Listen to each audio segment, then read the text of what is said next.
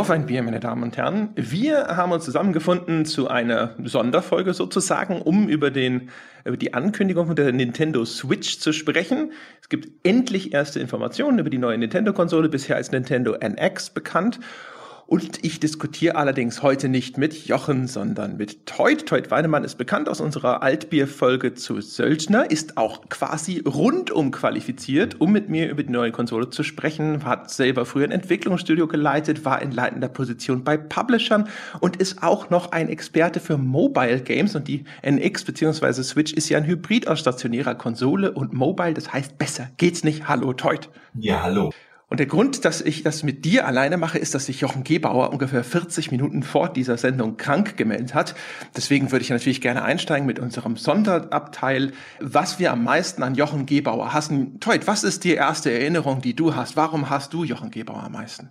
Weil er sich krank meldet, wenn es um Themen geht, die er nicht vertritt. Ich weiß nicht, ob er Nintendo-Fanboy ist. Das glaube ich nicht.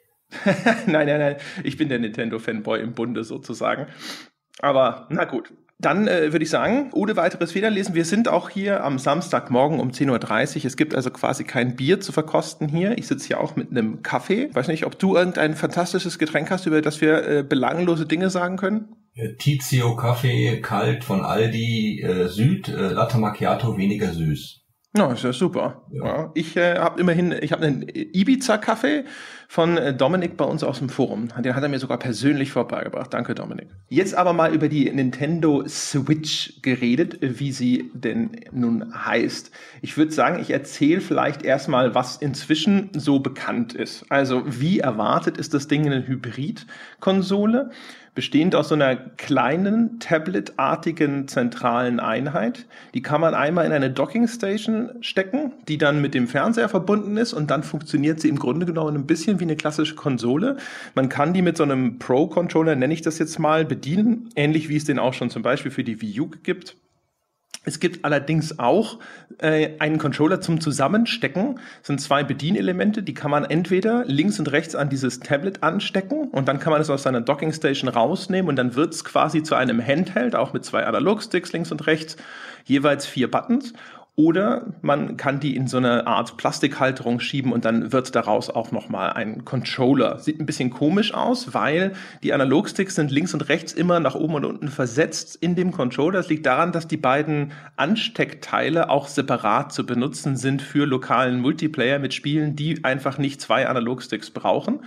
Ähm, dann hat jeder einen Analogstick und vier Buttons auf so, äh, jedem dieser Einzelteile und dann kann man damit auch lokalen Multiplayer machen, auch auf der kleinen mobilen Tablet-Einheit sozusagen. Da gibt es Szenen in dem Trailer, wo die Leute so im Splitscreen spielen sozusagen.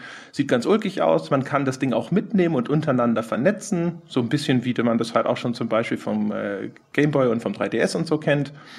Das heißt also, im Großen und Ganzen keine gigantischen Überraschungen, was das Ding angeht. Release ist im März 2017, das wurde auch schon vorher lange gerüchtelt. 48 Hersteller haben Support zugesagt anhand einer Grafik, die Nintendo veröffentlicht hat. Das ist erstmal sehr ordentlich, ist auch deutlich mehr, als sie damals bei der Wii U vorzuweisen hatten.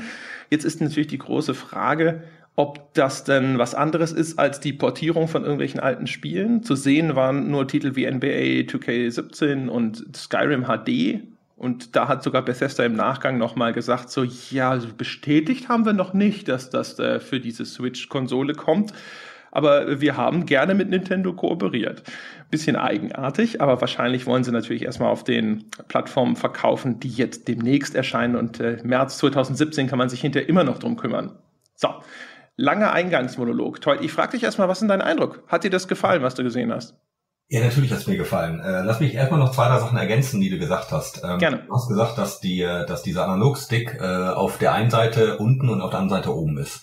Ähm, das liegt unter anderem auch daran, dass wenn du den Pro-Controller anschaust, da ist es auch so, ähm, so wie bei einigen anderen Controllern, die da so bei anderen Konsolen rumfliegen. Wenn du jetzt diese zwei Seitenteile an das Plastikteil dran schließt, dann hat äh, das, äh, dieser separate Controller, wenn das Ding in der Docking Station steht, das gleiche Layout wie der Pro-Controller. Wenn du es mal genau anschaust, dann ist das einer der Gründe, warum sie das so gemacht haben. Mhm. Ähm, das zweite, was bisschen untergegangen ist ähm, in der in den Videos, ist äh, diese die Switch hat äh, zwei Shoulder Buttons auch vorne dran.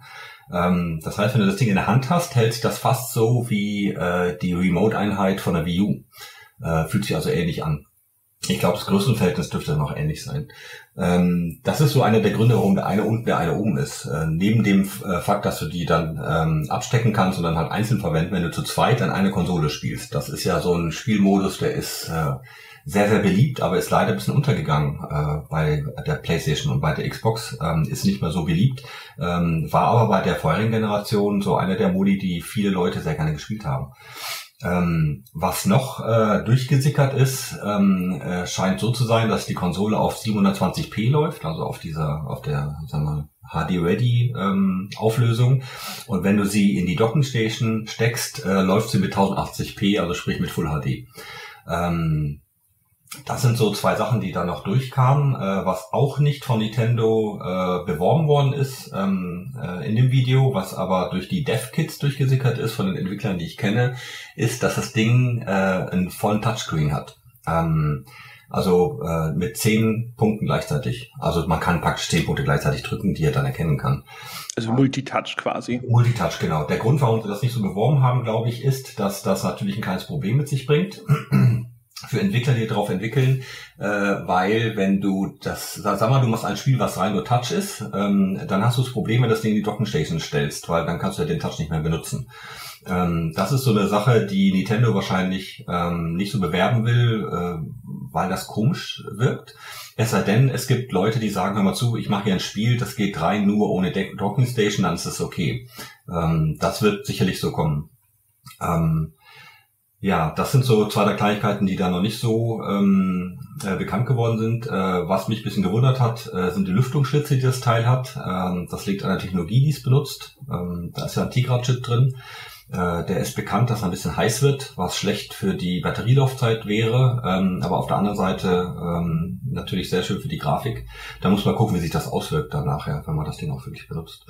Aber das war jetzt nur noch der Hinweis, äh, wie das mit diesen Controllern funktioniert. Ähm, die scheinen also wirklich sowohl einen direkten Kontakt zur Konsole zu haben, wenn man sie an die Seite reinsteckt, als auch dann halt per Funk mit der Konsole kommunizieren zu können. Ähm, was, ähm, was die Entwickler so sagen, ist, dass die Hardcore-Entwickler, die natürlich sehr große, äh, große PlayStation und Xbox-Fans sind, äh, dass sie nicht gerade begeistert sind. Ja, die sind alt eingesessen, die wollen ihre Shooter sehen, ihre Battlefields und ihre Call of Duties und sowas. Dafür ist die Konsole gar nicht gebaut. Ähm, ich glaube, dass Nintendo hier wieder in eine, in eine Lücke stößt, wie sie es immer machen. Ähm, man weiß, dass sobald Nintendo was Neues vorstellt, jeder immer erstmal so, hm, ja, ich weiß ja nicht, Nintendo sollte ihre Spiele vielleicht für andere Konsolen machen, das kommt immer wieder, wenn sie sowas tun. Äh, und im Nachhinein haben sie dann doch, ich sag mal, ein bisschen recht, ne, dass sie ein bisschen Innovation mit sich bringen. Ähm, ich mag es, dass es portabel ist, ähm, dass ich die Nintendo-Spiele, die ich so sehr liebe, mitnehmen kann, äh, egal wohin. Ähm, dass sie auf Multiplayer Wert legen, sowohl zu zweit an einem Bildschirm als auch, ich sag's mal, zu viert im Kreis und vielleicht mal zu acht an vier Bildschirmen, wer weiß. Äh, das ist wichtig für Spiele wie sagen wir Splatoon. Ähm, das ist eine Sache, die, ähm, die jetzt ohne, dass man unbedingt ein Internet braucht, glaube ich, die Konsole ganz schön nach vorne schieben könnte. Ähm, ich ich finde, äh, das, was Nintendo da macht, ähm, das ist noch so ein bisschen untergegangen da draußen. Ähm, sie vereinigen ihr gesamtes Universum sowohl von 3DS als auch von der Wii U in eine Konsole. Ähm, so dass sie eigentlich sowohl 3DS als auch die Wii U nicht mehr brauchen. Die Wii U wird ja angeblich in der Produktion eingestellt und komplett ersetzt durch die Switch. Äh, heißt aber, dass alle Spiele laufen sollten auf dem Ding, beziehungsweise einfach portierbar. Ähm, das Ding ist Cartridge-based, das heißt, äh, das steht nichts im Weg, dass 3DS-Spiele drauflaufen. Äh, was ein bisschen komisch ist, ich habe echt in Zeitlupe diesen, dieses Video angeschaut und habe verzweifelt versucht rauszufinden, ob der Cartridge-Slot eins zu eins so aussieht wie der von 3D, wie der vom 3DS.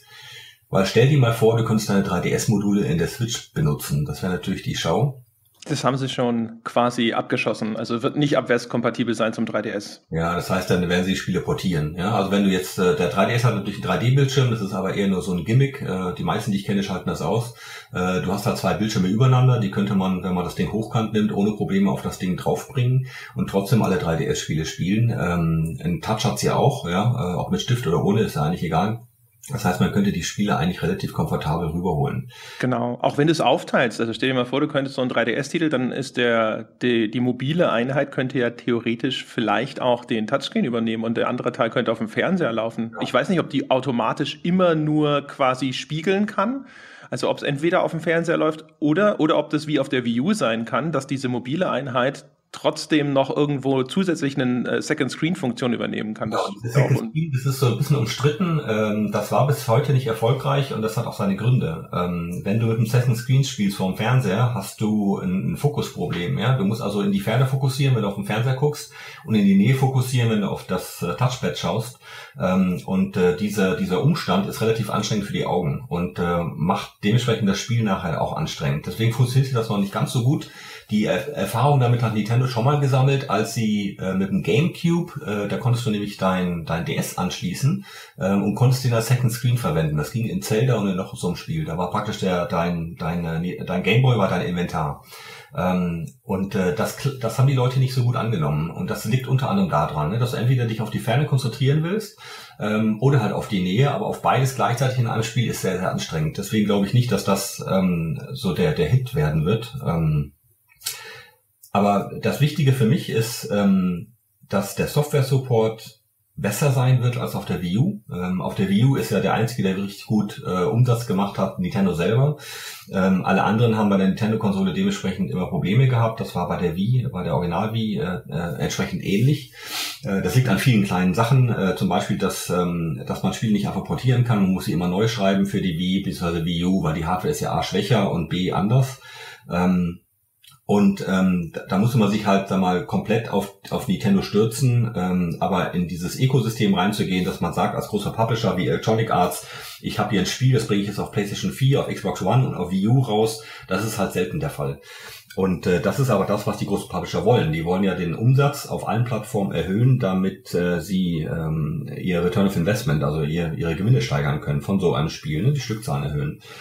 Und ähm, das wird da nicht so sein. Allerdings, äh, der Vorteil ist, dass ähm, diese typische Trennung, die es bei Nintendo gibt, äh, bei den Entwicklern, nämlich diejenigen, die für Wii U entwickeln und diejenigen, die für 3DS entwickeln, dass die sich jetzt zusammentun können und nur noch auf einer entwickeln. Kannst du dir so vorstellen, es gibt einige Studios, vor allem in Japan, äh, die machen rein nur 3DS-Spiele. Ähm, das kennt man hier so gar nicht, weil der 3DS ist ja enorm erfolgreich, das ist immer noch die meistverkaufte Konsole in Japan. Jeden Monat verkauft sie sich mehr als PlayStation 4 und Xbox zusammen. Ähm, und es gibt sehr, sehr schöne Spiele, JRPGs und wie sie alle heißen, die Dinger, die ich liebe. Ähm, und äh, jetzt ist es so, dass wenn beide Konsolen abgelöst werden durch die Switch, ähm, dass sich beide auf ein Ökosystem stürzen können und dadurch wird der Software-Support besser. Das heißt, es wird sehr viel mehr Spiele für die Switch geben als für die Wii U. Und ähm, für Nintendo selber ja auch. Ne? Alleine für die ist es ja, sage ich mal, ein bisschen streamlined. Also sie müssen ja jetzt dann auch nicht mehr für ihre Mobile-Plattform separat einen Mario rausbringen, einen Mario Kart rausbringen und so. Genau, das haben sie allerdings äh, relativ gerne gemacht. Ähm, es hat eigentlich immer nur die anderen gestört, nicht Nintendo selber. Ähm, und äh, die, die anderen, wenn es nur noch ein Ökosystem gibt, was sowohl portabel ist als auch zu Hause, kannst du dann speziell das Spiel darauf tunen und dementsprechend äh, da portieren. Es gibt eigentlich keinen Grund mehr, äh, dann nicht für Nintendo zu entwickeln.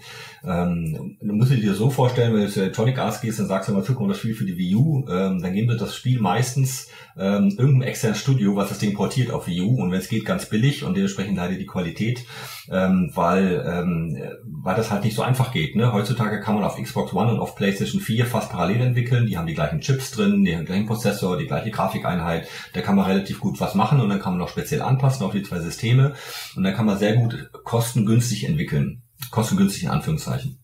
Und ähm, das war bei Nintendo halt immer das Problem, dass man da immer die Extrawurst machen musste. Und ähm, das kann man jetzt vereinfachen, weil ja jetzt zwei Märkte zusammengeschlossen werden. Dass das Ding so klein ist, ist äh, ein Riesenvorteil, finde ich. Ähm, Nintendo hat immer süße kleine Konsolen gebaut.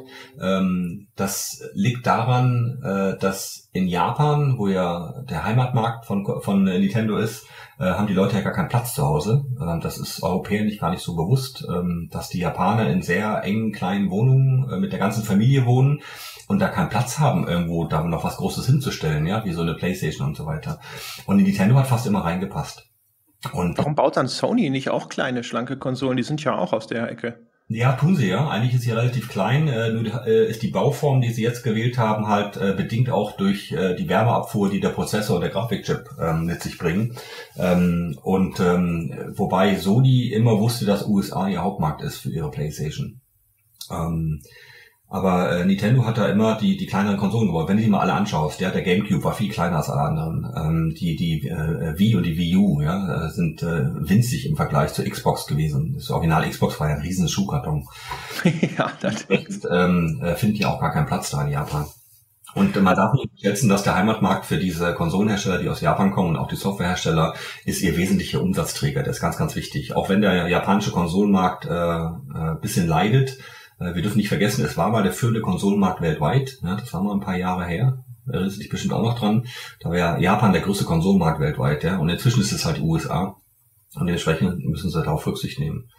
Ähm, aber ich finde die Konsole schick, ich finde sie klein, man muss gucken, wie die Batterielaufzeit ist. Das ist immer so ein, so ein Steckenpferd von, von, nee, Steckenpferd ist das falsche Wort, ähm, so ein kleines Problemkind von Nintendo gewesen. Äh, auch der 3DS äh, hält jetzt nicht gerade so lang durch, dass man sagen würde, äh, man kann die jetzt den ganzen Tag spielen.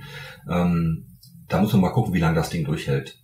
Ja, hast du eine Prognose? Also es wird ja gemunkelt, dass das so ein angepasster Tegra X1 Prozessor sein soll. Wenn man mal so annimmt, dass das irgendwas in der in der Größenordnung wäre, hast du eine Prognose, was das für Batterielaufzeiten haben wird? Also normal so Nintendo historisch würde ich ja schon befürchten, dass das eher so vier fünf Stunden oder sowas sein wird, so Vita-mäßig. Habe ich auch genau, irgendwas so vier fünf Stunden wird sein. Äh, das sagen die Leute natürlich, ja, das ist wenig, ja.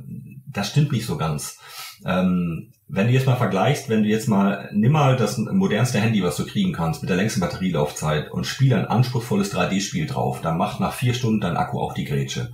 Äh, das ist halt so, weil der weil 3D-Grafik halt sehr viel Power zieht. Und dementsprechend glaube ich, dass sie genau im gleichen Bereich sein werden. Es sei denn, äh, bedingt durch die Größe der, der Switch, ähm, äh, schaffen die es, einen leistungsfähigeren Akku reinzubauen.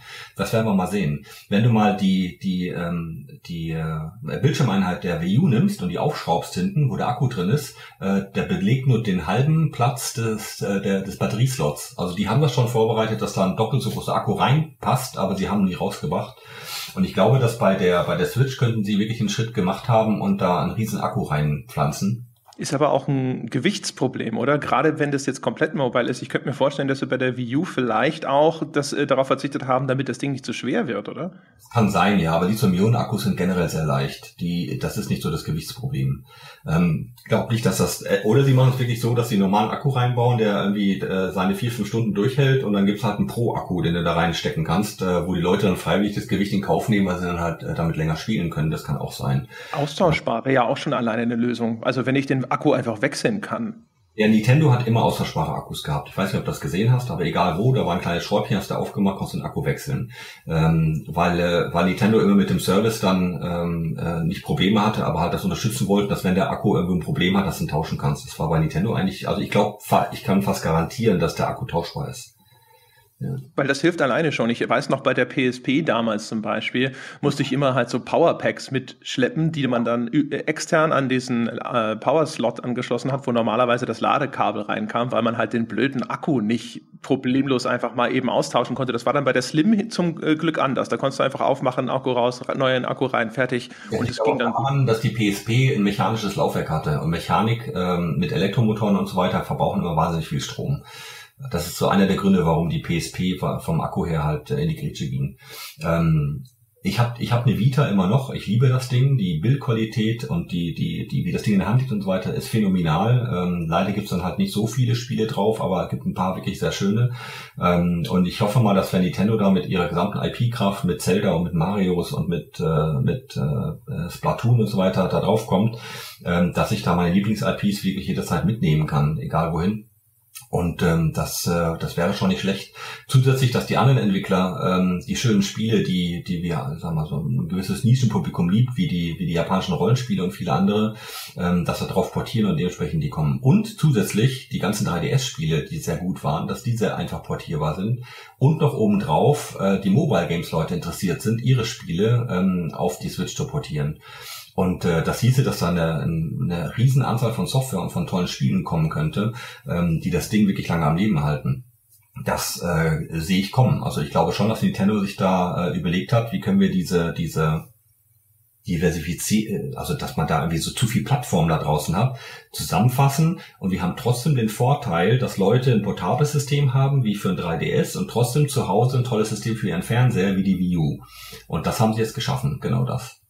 Ja, es gab ja sogar Spekulationen, ob das Ding in irgendeiner Form vom Betriebssystem her an Android angelehnt sein könnte, um da irgendwie Portierungen in der Richtung zu erleichtern. Keine Ahnung, ist es für realistisch, dass sowas? Halte ich, nein, halte ich nicht für realistisch. Ähm, der, die, die, die Japaner oder beziehungsweise ja, äh, die, die, die Nintendo hat fast immer ihre eigene Softwarelösung ähm, präsentiert, was das angeht. Ich meine, es ist offensichtlich, das Ding hat einen Atomprozessor drin, eine Variante vom ARM nicht atomarm. Ähm, das heißt, es ist eigentlich mobile-kompatibel. Es ist, glaube ich, der gleiche Chip äh, drin wie im Snapdragon. Keine Ahnung, was, was für eine Zahl dahinter ist.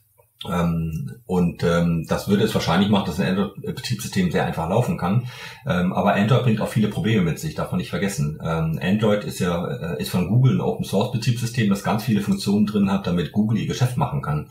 Und ich glaube nicht, dass Nintendo will, dass Google auf ihrer Konsole ein Geschäft macht. Und äh, das ist einer der Gründe, warum ich nicht glaube, dass Nintendo ein Android nimmt, sondern eine eigene Lösung. Ja, es hielt, hielt ich auch für unwahrscheinlich. Ich habe auch immer gehört, dass weil äh, Android Open Source ist, es da sehr viele Probleme gibt, dass das leichter dann zu hacken wäre. Und Nintendo hat ja auch mit Raubkopien und sowas, da sind sie ja eigentlich auch immer sehr vorsichtig. Genau, da sind sie recht allergisch dagegen. Also ich glaube, das Hacken wäre nicht so das Problem. Ähm, ich glaube eher, dass sie die Google-Funktionen dort nicht mögen. Ja? Ähm, Android ist ein riesen Tracking-Device, damit Google lernt, wie sie tolle Werbung hier geben können. Ähm, und äh, die, Nintendo will einfach nicht die Daten ihrer Kunden weitergeben. Das ist nämlich äh, heutzutage das Wertvollste, was du haben kannst. Ähm, dein, den Kunde, der in deinem, deinem Ökosystem drin ist. Nintendo will das einfach nicht teilen mit, äh, mit einer amerikanischen Firma, glaube ich nicht. Mhm. Glaubst du, jetzt hat ja Nintendo just kurz vorher angefangen, auch für Mobile zu entwickeln, also mit dem Mario Runner, der da kommt. Ist das Zufall oder gibt es vielleicht irgendwie da auch noch eine Überschneidung, dass, also, dass diese Mobile-Pläne von Nintendo hat es auch was mit der Switch zu tun, weil sie da auch irgendwie Titel entwickeln, wo sie sich denken, cool, und die können wir dann eben dann auch noch irgendwann auf Mobile rausbringen?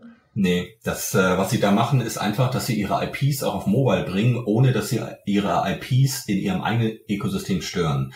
Äh, du wirst nie in Original Mario auf deinem Handy spielen können, aber auf der Switch kannst du's. Das ist halt einfach nur ein Runner. Ja? Ähm, du wirst nie ein Zelda auf, auf deinem Android-Phone spielen können, sondern halt nur eine Variante davon. Das Original Zelda gibt's nur auf der Switch. Ähm, das wollen sie ja garantieren. Die, sie wurden so ein bisschen hingedrängt, auch durch ihre Aktionäre und durch den Markt, dass sie auf Mobile was bringen, die Reichweite mit erzeugen. Aber du wirst sehen, sie werden todsicher ähm, ihre mobile Reichweite, die sie jetzt erzeugen durch ihr Mario und die anderen Sachen, die sie dahin kriegen, benutzen, um die Leute auf die Switch zu ziehen. So in die Richtung, wenn du das richtige Mario spielen willst, dann musst du eine Switch kaufen. Ähm, ich glaube nicht, dass es, äh, dass ihre Originale jemals auf einem anderen Gerät laufen werden als auf Nintendo Hardware.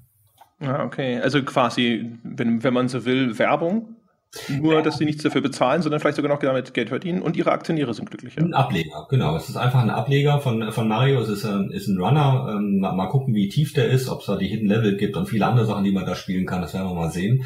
Die werden ja meistens vom, äh, von, äh, von Dena entwickelt, also der, der, dem anderen japanischen Giganten, den es da gibt.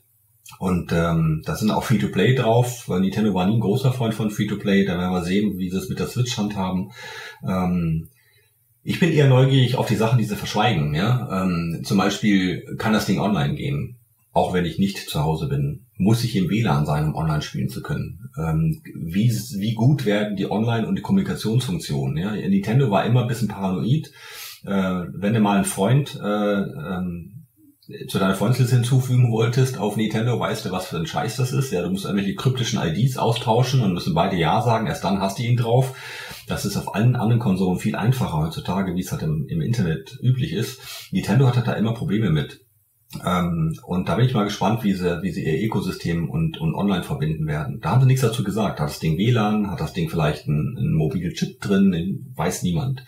Gut, ja. WLAN muss es haben, damit es ja zu einem E-Store irgendwie Verbindung aufbaut. Genau. Du, du wirst wahrscheinlich eher darauf abzielen, ob es halt irgendwie 3G oder sonstiges mobiles Internet unterstützt. Ne? Genau.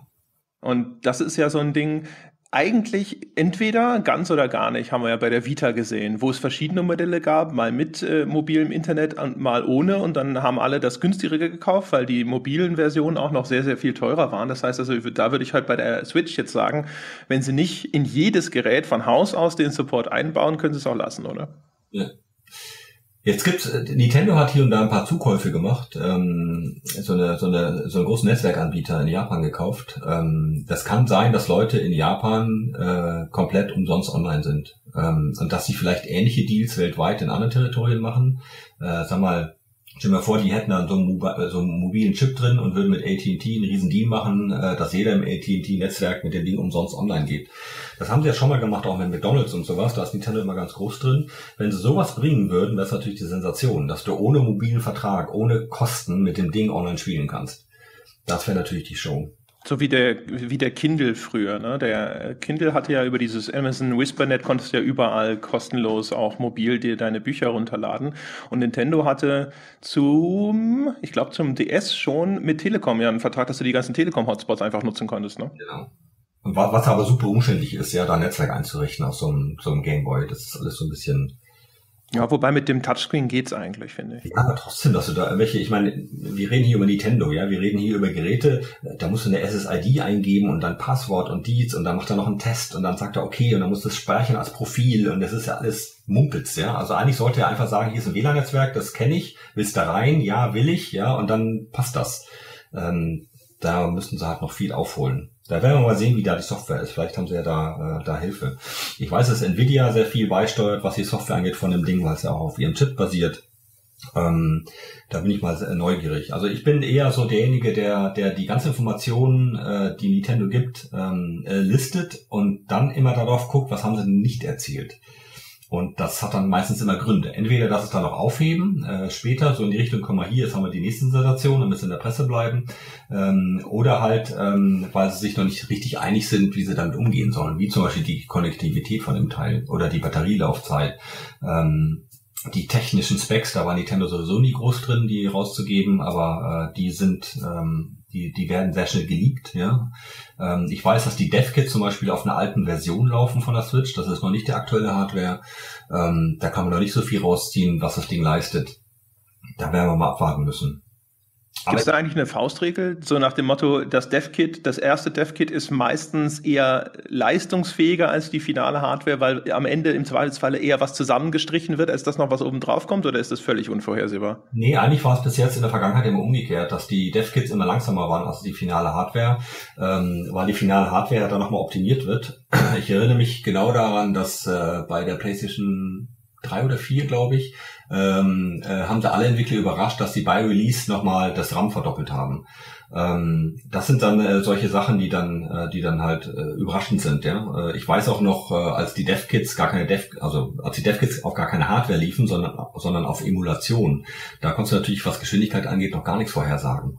Ähm, Deswegen meistens ist es so, dass die Dev-Kits langsamer sind, weil die finale Hardware noch gar nicht fertig ist ähm, und dementsprechend noch optimiert wird. Wird es auch strategisch genutzt? Also bei dieser, bei dem Sony-Beispiel habe ich sofort gedacht, ähm, weil man eh weiß, dass diese Dev-Kit-Specs leaken, dass man dann halt äh, quasi die erstmal so ausliefert und dann hinterher sagt, haha, aber wir haben doppelt so viel RAM und äh, Microsoft oder so, die vielleicht den, auf die geleakten Daten eventuell reagieren könnten, dann nicht die vollen Informationen hat. RAM ist schweineteuer. Einfach mal so zu entscheiden äh, für, für einen Marketing-Stunt, äh, äh, den, den Preis zu verdoppeln von dem Speicher, glaube ich nicht. Ähm, äh, in dem Fall war es wirklich so, äh, dass, äh, dass die meisten Entwickler sagten, es ist zu wenig, es ist super knapp, das wird die nächsten fünf Jahre euch, äh, äh, euch Probleme bereiten. Und die deswegen gesagt haben, wir verdoppeln das jetzt, auch wenn wir ins Gras beißen müssen, da ein bisschen mehr äh, äh, zahlen müssen am Anfang, also mehr Verluste machen. Die Konsolen werden ja mit Verlust verkauft am Anfang, außer Nintendo. Äh, und ähm, das, und das hat sich ja ähm, bezahlt gemacht, ja. Die Spiele sind ja dann besser, haben bessere Texturen, haben bessere Grafik, äh, haben bessere Ladezeiten und so weiter.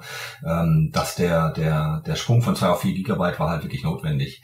Ähm, und sie haben zu dem Zeitpunkt, glaube ich, auch äh, Microsoft ein bisschen Wind aus den Segeln genommen. Ähm, aber der, der Hauptgrund war wirklich äh, der, der Anspruch der Spiele und äh, dass die Hardware einfach besser performt mit, äh, mit 4 Gig.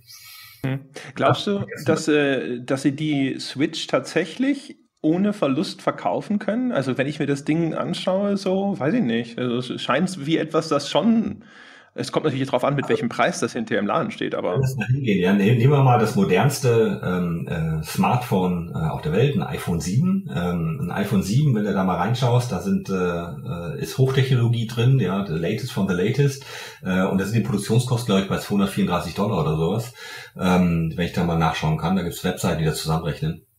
Und äh, da ist ja weitaus weniger drin. Da ist ein Chip drin, der ist schon äh, lange serienreif. Äh, da ist ein, ein Prozessor drin, äh, der ist schon ewig in Produktion. Das heißt, die Produktionskosten sind gegen, äh, gegen null, sage ich jetzt mal nicht, aber die, da ist eingefahren, ja, da, äh, da sind die, die Produktionskosten optimiert und äh, da kannst du irgendwie wahrscheinlich bei zehn verschiedenen Firmen den Prozessor ordern. Ähm, das RAM wird nicht der schnellste sein, weil das reicht für den Prozessor, der zwei Jahre alt ist. Ähm, der Bildschirm ist, äh, kostet nichts, ja, also wenn, wenn du mal so ein, so ein, ne, geh mal hin und kauf mal ein iPhone 6 Plus Retina Display in China. Da zahlst du einen Zehner. Kriegst du für 10 Dollar und da macht er immer noch Gewinn damit, ja. Das heißt, die Produktionskosten sind wirklich lächerlich gering. Ähm, das ist, äh, das ist nicht, äh, nicht die Welt. Also so ein, so ein Ding, was basiert auf Handy-Technologie, ist sehr, sehr günstig zu produzieren heutzutage. Äh, vor allem, weil es ja nicht eine Eigenentwicklung ist alles, sondern alles auf existierende Technologie ähm, ähm, basiert, heißt es, dass du die Forschung und Entwicklung gar nicht reinstecken musst. Das ist wie so ein Baukasten, den sie genommen haben und zusammenstecken und dann ihre spezielle, spezielle Nintendo-Magie drumherum gebaut. Was wartest du denn für einen Preis? Ich hätte jetzt aus dem Bauch raus gesagt 300? Nein, Nein? Nein, du darfst nicht vergessen, ähm, äh, dieses Jahr Weihnachten äh, werden die Preise nochmal purzeln von den Konsolen. Ähm, ich schätze mal, eventuell haben wir dieses Jahr das erste Weihnachten, wo die PlayStation für 199 im, im Laden steht. Ähm, und dagegen müssen sie konkurrieren. Sie können jetzt nicht einfach sagen, hör mal zu, ich habe einen Bildschirm dabei, deswegen kann ich jetzt mehr verlangen. Ähm, ich glaube, das wird uns alle überraschen. Ja? Ähm, also 249 maximal, eventuell mit einem Spiel dabei am Anfang, aber ich glaube, das Ding wird sehr schnell für 199 im Laden stehen. Boah, das wäre aber echt äh, relativ ordentlich. Ist nicht die Wii U, mit was ist die gestartet? Ist die nicht auch mit 300 gestartet? Nee, mehr. Sogar noch mehr, echt? Die Wii U ist doch für, für 249, 279, irgendwie sowas, aber unter 300. So, ja, das meine ich. Aber das ist ja weniger. Ich hätte jetzt, ich dachte, die Wii U wäre vielleicht auch so irgendwo in dieser 300er Ecke. Okay, dann war es vielleicht 250, aber. Das, ja? Du weißt, dass wir am Anfang 500, 600 Euro für unsere, für unsere Konsolen zahlen, ne? Ja, ja, natürlich. Aber bin, bin mal gespannt. Also bei Nintendo einerseits ist es klar, dass das Ding vom Preis eigentlich äh, im Vergleich zu Xbox One und PS4 günstig sein muss. Ja. Auch weil das ja dann sozusagen den Markt ausschließt, dass das so eine Zweitkonsole ist dann für PS4 und Xbox One Besitzer. Für einen PS4 Besitzer gibt's ja wenig äh, sage ich mal, Anreiz, sich noch eine Xbox One zuzulegen, bis auf die wenigen Exklusivtitel. Ja. Aber so eine Nintendo Switch zum Beispiel, die wird man sich, wenn sie günstig genug ist, wahrscheinlich schon nochmal dazustellen, hätte ich gesagt. Genau, also was, was die Zielgruppe angeht, ja. Äh, wobei ich glaube, dass eine PS4, also eine Xbox-Gruppe ist eine, eine, sagen wir, eine sehr Hardcore-Gruppe, äh, die, sagen wir, mit ihren Shootern Gears of War und Call of Duty spielt. Äh, ich glaube nicht, dass das Nintendo-Fanboys sind. Ähm, bei der PlayStation 4, die geht eher in die Breite, da gibt es ein Publikum, was halt, äh, sag mal, casual will ich es nicht nennen, aber die jetzt nicht unbedingt Hardcore ist, sondern eher Spaß haben mit an so einer Konsole. Da glaube ich schon, dass da die Zielgruppenüberschneidung größer ist. Ich glaube aber, äh, dass Nintendo ihre eigene Zielgruppe hat, die um einiges größer ist als äh, die, die Zielgruppenüberdeckung mit, mit PlayStation oder mit Xbox-Usern. Ähm, das hast du bei Pokémon Go gesehen, ja, wie viele Leute plötzlich Pokémon Go gespielt haben, äh, weil sie damit groß geworden sind. Und ich glaube, das, das ist genau das Zielpublikum, wo sie reingehen, ja. Da ist so ein 45-Jähriger, der hat keine Konsole zu Hause, das ist nicht so der richtige Gamer, ist aber mit Nintendo groß geworden. Der sieht die Switch und sagt so, pff, ach guck mal, da kann ich die mitnehmen und kann die Spiele spielen, mit denen ich groß geworden bin. Genau das sind die Leute, die Nintendo mitkriegt. Interessanterweise, wenn du mal genau anschaust, das Werbevideo, was sie gemacht haben, normalerweise geht Nintendo immer mit Kids äh, ein, zuerst an den Markt, ja. Ich sage es mal äh, 8 bis 13. Jetzt gehen sie plötzlich mit, mit Teens und Hipstern an den Markt. Und ähm, das heißt, sie, sie, sie ihre Zielgruppe ist älter, die sie angehen, als sie mit ihren alten Konsolen gemacht haben. Und da wirst du sehen, ähm, dass da einige, äh, die jetzt nicht unbedingt eine Konsole zu Hause haben, auch zugreifen werden. Und das wird ihre Reichweite. Das ja bei der bei der Wii war es ja schon so, da haben sie relativ schnell oder von Anfang an eigentlich angefangen, sogar fast so alle Generationen in der Werbung zu repräsentieren. Kinder, Was? Jugendliche, Eltern, Großeltern, da hast du gesehen, so das war immer dieses Familienmodell von Nintendo. Ja, aber das haben sie gemacht, nachdem sie festgestellt haben, dass die Wii sich in alle Altersgruppen verkauft. Äh, ich meine, ich habe das Ding in Altersheim stehen sehen, ja, ähm, weil halt die Leute Spaß an der Bewegung haben. Das war was Neues. Ähm, das, äh, das Wii Fit, dieses Board, was sie da noch verkauft haben, hat, ist ja eingeschlagen in eine gewisse Zielgruppe. Die hat Nintendo aufgemacht. Die hatten die anderen gar nicht im Visier. Und dann haben sie gesehen, dass sie eigentlich alle Alterszielgruppen bewerben müssen, ähm, damit, äh, damit sie die durchverkaufen sehr gut. Und wie gesagt, das ist eine der bestverkauften Konsolen der Welt. Ähm, Und das ist der Grund gewesen, warum sie plötzlich in die Breite gegangen sind. Hm. Ist das ein Vorteil von Nintendo, weil die ja klassischerweise eigentlich immer als die ideale Konsole äh, gegolten haben für Kinder, also für wirklich kleinere Kinder. Führt das dazu, dass ganz, ganz viele aber halt wirklich so in Kindertagen mit Nintendo-Konsolen sozialisiert werden sozusagen und deswegen auch einfach immer so ein großer Stamm da ist, der sehr nostalgische Kindheitserinnerungen mit der Marke verbindet? Ist ganz klar. Das ist, äh, das ist ein Branding und ein Markenaufbau par excellence, ja. Das äh, machen viele andere ja auch. Äh, ich weiß nicht, wenn du, wenn du mal Kinder kriegst, ja. Du kriegst ja im Krankenhaus, kriegst du so, ähm, Goodie-Bags umsonst, ja, da ist Pampers drin, da sind Cremes drin und keine Ahnung was, ja. Da fängt da schon die Markenbindung an, dass die Eltern dann gewöhnt werden, diese Marken zu benutzen. Und so, wenn Kinder dann gewisse Marken sehen und damit aufwachsen, ist es ja klar, dass sie im Erwachsenenalter dementsprechend das auch machen. Und so macht das Nintendo auch, ja. Von, von Anfang an, wenn du Nintendo, du fängst mit dem Game Boy DS an, ja, weil es gibt tolle Spiele, das Ding ist unkaputtbar, das kannst du auch mal in die Ecke schmeißen, ohne dass es kaputt geht. Ein Handy geht sofort zu Bruch.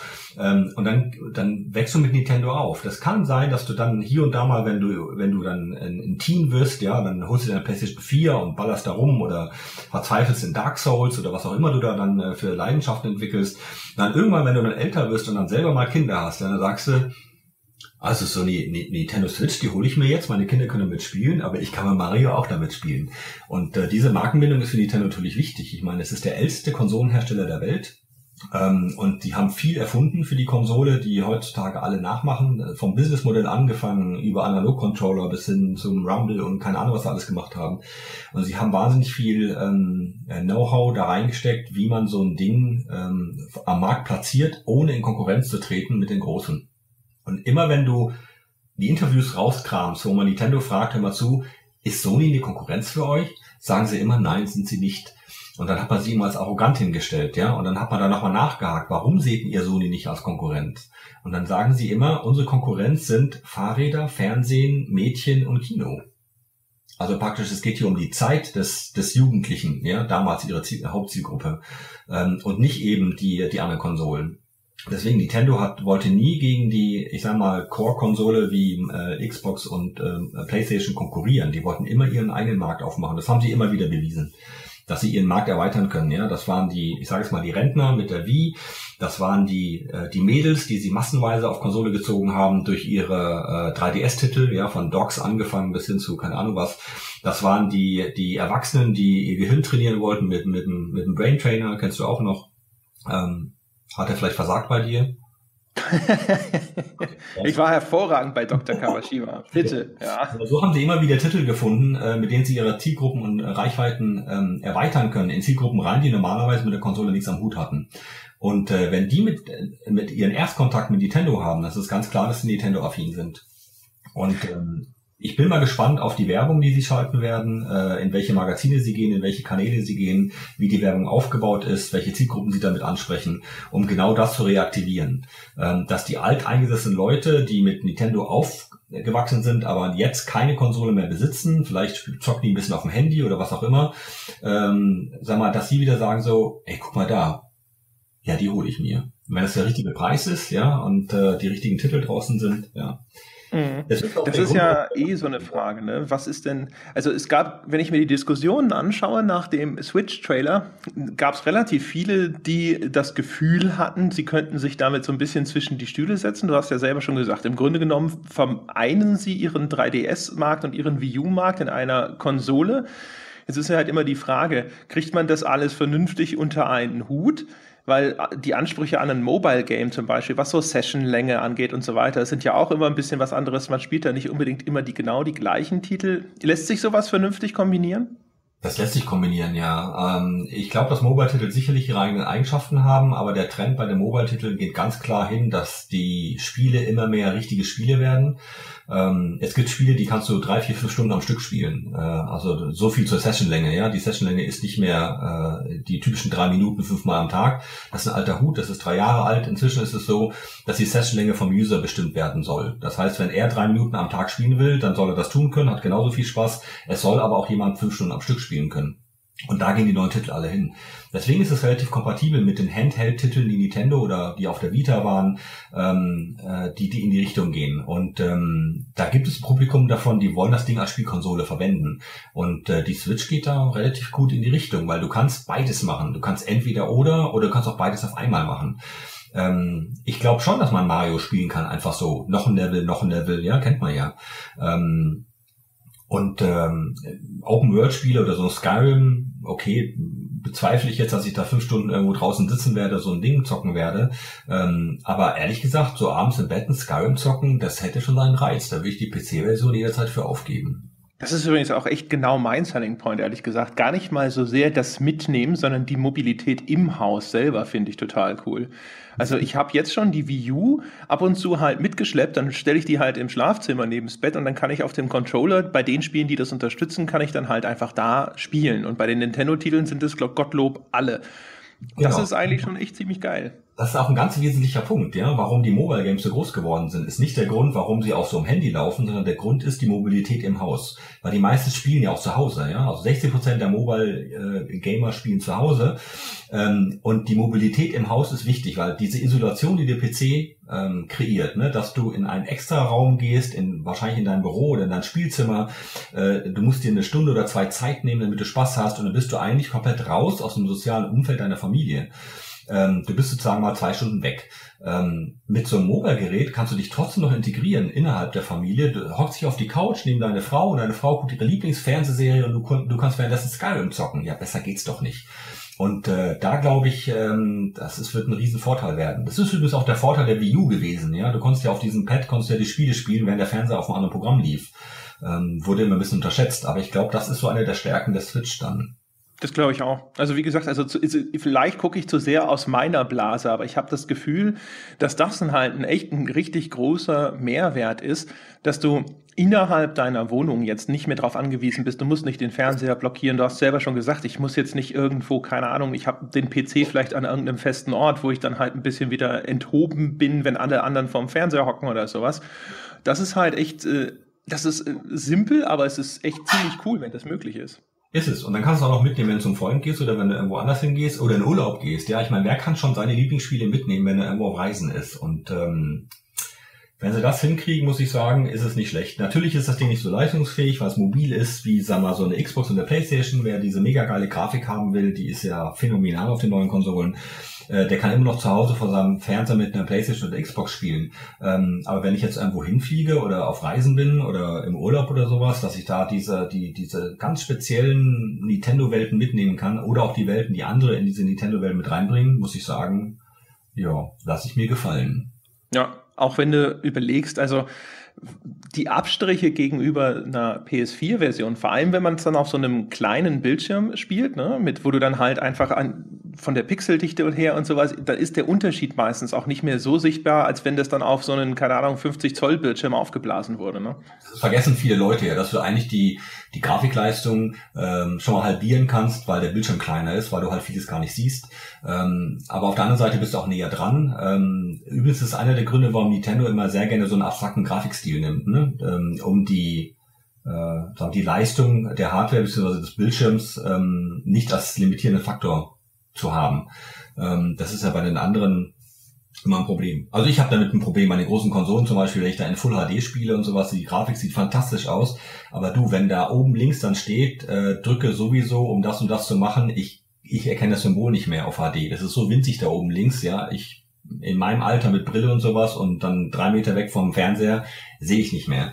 Ähm, das ist natürlich sehr viel komfortabler, wenn man das Ding dann vor der Nase hat. Aber gut, ähm, ich glaube, dass das wird. Wir, wir müssen gucken, wie brillant der Bildschirm ist. Ich hoffe, dass sie, ähm, dass sie gelernt haben äh, von ihrem 3DS. Der Bildschirm ist nicht gerade so prall, finde ich.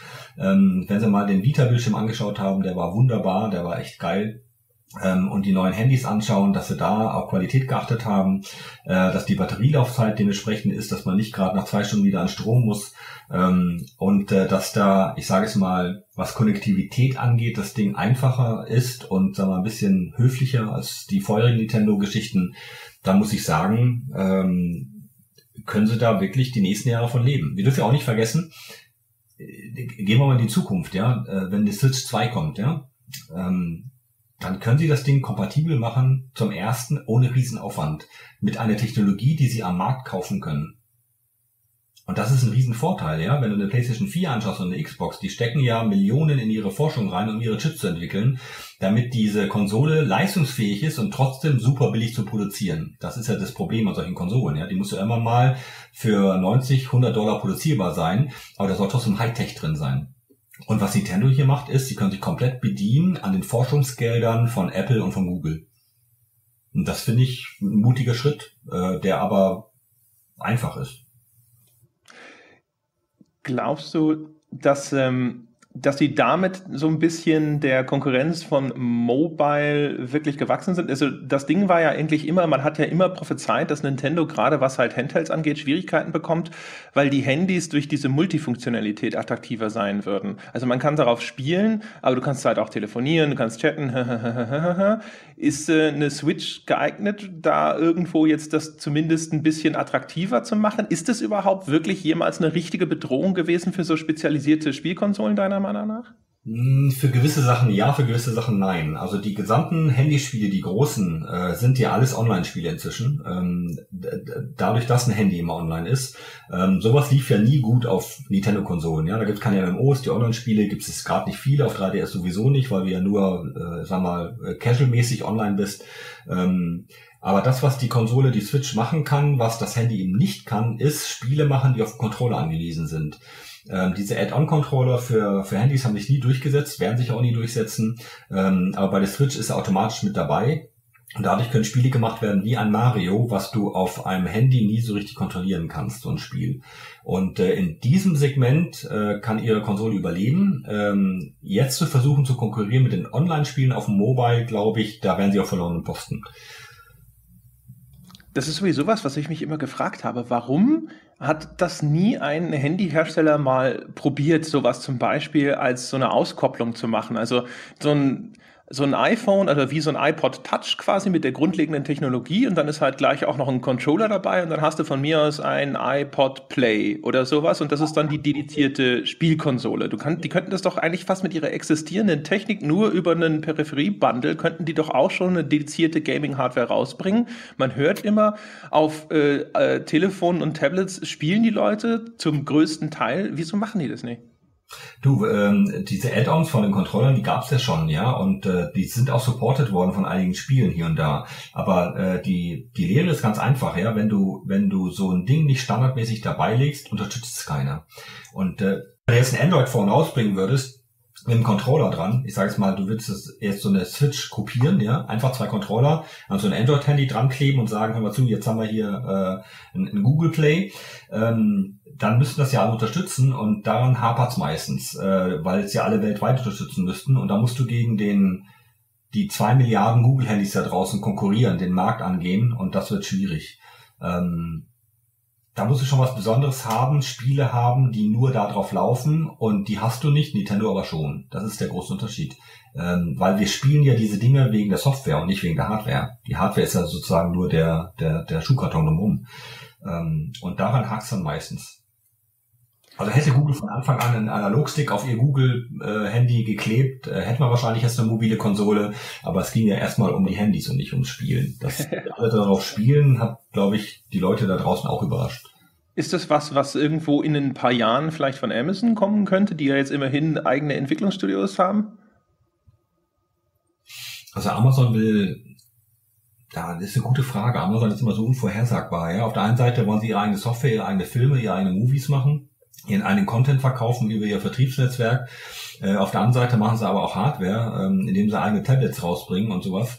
Ähm, ich glaube, wenn Amazon jetzt konkurrieren würde gegen die Konsolen, würde sie hoffnungslos verlieren. Ähm, weil die Erfahrung der drei Großen ist da schon riesig. Also wir haben ganz selten haben wir es gehabt, dass bei den Konsolenherstellern irgendwas mal gewechselt ist. Ja, Sega weg, Microsoft rein zum Beispiel.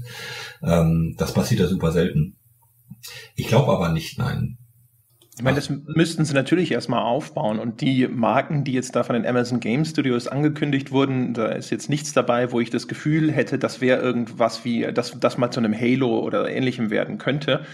Aber so, keine Ahnung, wenn man so in die Zukunft blickt. Ich habe immer das Gefühl, Amazon sind zumindest diejenigen, denen ich es am ehesten zutrauen würde, weil erstens Geld und zweitens einfach sehr experimentierfreudig anscheinend. Ja, also ihr Spiel, ihr, ihr Game Studio ist ja sehr alt, das unterschätzen viele, äh, wie lange es das schon gibt. Das äh, hat ja sehr lange im Geheim gearbeitet. Ähm, und die Spiele, die sie jetzt rausbringen, dienen ja auch eher dazu, die Services zu unterstützen, die Amazon anbietet, wie es Twitch. Ähm, da, also die, die versuchen immer Spiele zu machen, die irgendwie ihr Ökosystem bereichern äh, und nicht nur Spiele zu machen, rein nur das Spiel hinwegen. Genauso, wenn sie jetzt eine Hardware machen würden, würden sie die Hardware machen, damit ihr Ökosystem besser funktioniert. Sprich, dass du einen besseren Amazon Store da drauf hast oder wenn du Prime hast, automatisch neue Inhalte drauf hast und deswegen das Ding holst. Ähm, aber da, da ist Amazon ein bisschen unvorher. Also ich dachte immer, Amazon ist ein Kaufhaus, wo man alles online kriegen kann, aber inzwischen ist es da so viel mehr. Ich meine, der größte Cloud-Anbieter weltweit ist Amazon. Wie kommt sowas? Ja, das äh, ist so atypisch ähm, für ein Kaufhaus. ja.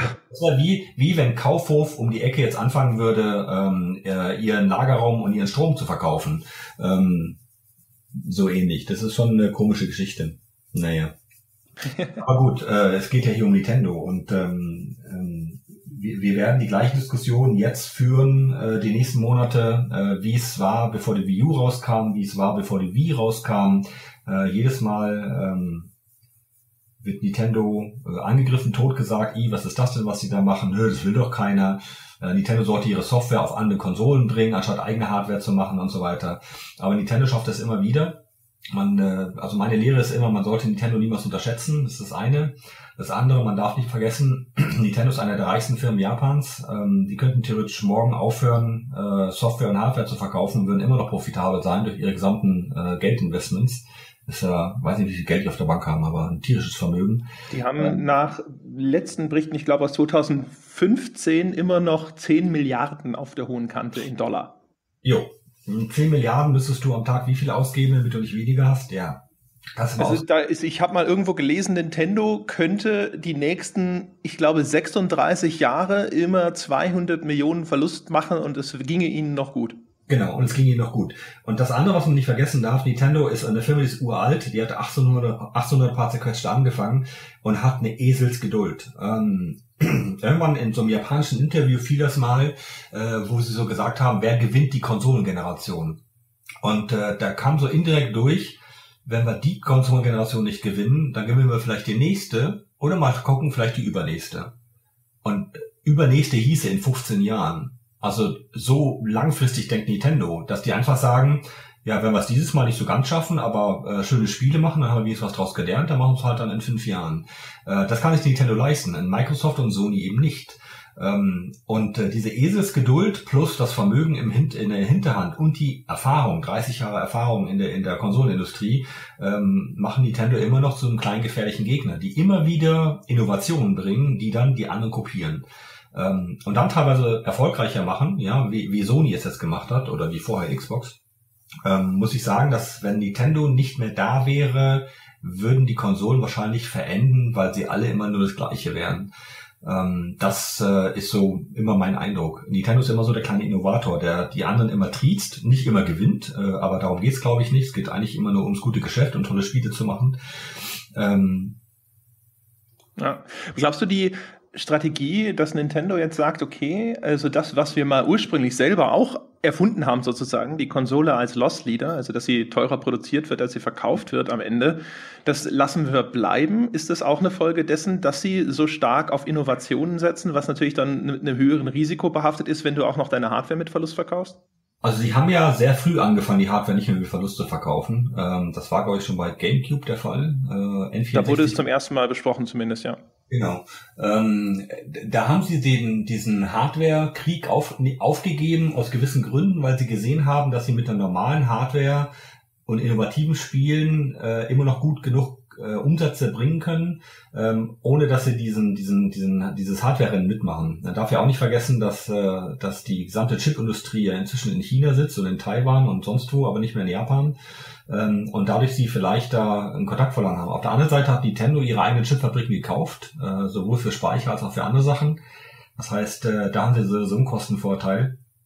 Ich glaube, sie haben immer mal gesagt, dass wir, äh, dass wir eher auf, auf innovative Erfahrung mit unseren IPs und mit tollen neuen Titeln Wert legen, äh, als auf so ein Hardware-Race.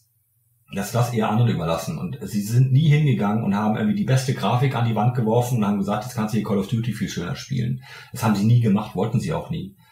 Und Zumindest nicht mehr seit Super NES-Zeiten. Oder N64 war eigentlich auch noch technisch äh, quasi mit beim Wettrüsten mit dabei, aber danach war, glaube ich, Schluss. Da waren sie First Mover, ja. Das SNES war ja eine direkte Folge aus dem NES, was sie da reingebaut haben. Und da gab es noch nicht so viel Konkurrenz. Ähm, und äh, das N64 war ja so die, die, die ersten Gehversuche mit 3D, wo sie, sie hatten ja vorher gelernt, auf dem Super Nintendo, wie 3D funktioniert mit ihrem Add-on-Chip und haben gesehen, dass durch einen einfachen Zusatzchip sie äh, 3D-Grafik machen können, ja. In dem Modul waren die ja drin. Und haben dann auf dem N64 das weitergemacht. Ähm, Wobei das Know-how nicht aus Japan kam, interessanterweise. Das Know-how über die 3D-Geschichten kam aus Großbritannien. Weiß ich, ob das weißt. Ähm, nee, das wusste ich nicht. Ja. Das haben, äh, obwohl, das haben sie mit, was war das, Silicon Graphics, war das das Ding? Nee, nee, die haben ja ganz am Anfang haben die ja mit Star Fox, äh, haben die ja 3D-Know-how eingekauft von Argonaut Software. Wenn dich daran erinnerst. Ja, ja, genau, aber ich dachte, dass die auch mit den, ah, für das Killer Instinct und auch für Donkey Kong Country, da hatten sie doch da mit äh, diesen Silicon Graphics Jungs irgendwo was, um diese, oh, diese vorgerenderten Sachen. Und ich dachte, das, das basierte auf so einer Hardware-Plattform, mit der sie dann auch Teile entwickelt haben fürs N64. Aber das ist jetzt ganz okay. diffus. Das war aber Rare, die das gemacht haben. Äh, es geht hier, hier eh um die 3D-Hardware. Äh, diesen Zusatzchip, ähm, den Argonaut da eingebaut hat, äh, ist interessanterweise eine, ein ARM-Prozessor, eine Variante davon, den wir heute in den Handys haben. Ähm, und daraufhin hat Nintendo gelernt, wie man 3D-Hardware machen sollte und hat mit dem Know-how auch von diesen Leuten dann die N64 aufgebaut. Ähm, die Leute sind übrigens heute immer noch in Japan, ne? die zwei Briten, die da mitgeholfen haben und haben da eigene Firmen. Ach guck. Ja, aber das ja. war damals echt irre, ne? Dieser Super FX-Chip und so. Das war ein winziges Bild, Bildchen damals auf dem Fernseher. War ja riesiger schwarzer Rahmen drum, damit das dann funktioniert und so. Aber dann gab es ja ne, diesen, dieses Rennspiel und Star Fox und das war für die damalige Zeit mit dieser 3D-Polygon-Grafik war so. Äh, darfst nicht vergessen, dass damals kaum ein Programmierer wusste, wie man überhaupt in 3D ein Polygon auf den Bildschirm bringt, ja. Ähm, geschweige denn texturiert. Das war dann schon sensationell, ja. Also ähm, mit dem Sound dabei und so weiter und so fort. Aber generell, da kommt dann halt dieses 3D-Know-how her. Und da dürfen wir nicht vergessen, auf dem N64, als dann Mario kam, war das das erste Mal, dass man in einer 3D-Welt einen Charakter gescheit durch die Welt steuern kann, ohne dass man das Gefühl hatte, die Kontrolle zu verlieren. Und äh, das hat äh, die, die, die 3D-Spiele schon revolutioniert.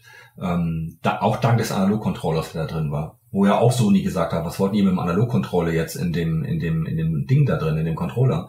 Ähm, und äh, dann hat Sony ja die ersten Millionen von Playstations verkauft ähm, mit dem, äh, ohne die, ohne ähm, Dual Stick. Erinnerst du dich noch dran? Ja, ja, klar. Also das auch äh, das, das Rumble-Feature war ja auch beim N64 zuerst mit dem Zusatzpack mit dabei. Und, und, und, und, und da hast du selber schon gesagt, dass die Liste der Nintendo-Innovation ist endlos. Controller ohne Analog ausliefert, ja, war dann halt schon ein Fauxpas. Und dann haben sie plötzlich das umgestellt und dann haben sie die Controller extra äh, nochmal verkauft.